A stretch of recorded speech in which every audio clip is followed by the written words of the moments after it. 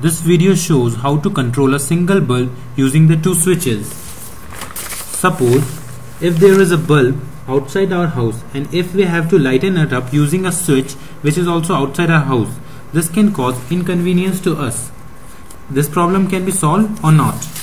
This problem can be solved if there is a switch inside our house and if the controlling of the bulb can be controlled by both these switches.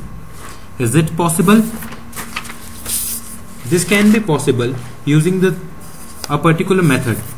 For this we need uh, three types of material. First is the PVC wires, second is the lamp or bulb, third is the two-way switches. For this we have to follow a particular kind of circuit. Suppose in a circuit if we display the two switches by this and this diagram and the bulb is displayed by this. We have to follow a method. We have to connect a wire from this point to this point and one wire from this point to this point then this wire should be extended up to main power line. We have to take one wire here and we have to join this to this and another wire from here this and to the main power supply.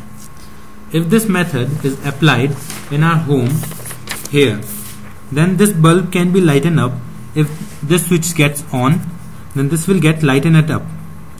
This bulb can be lightened up by this bulb uh, this switch also and it can be off by both these switches.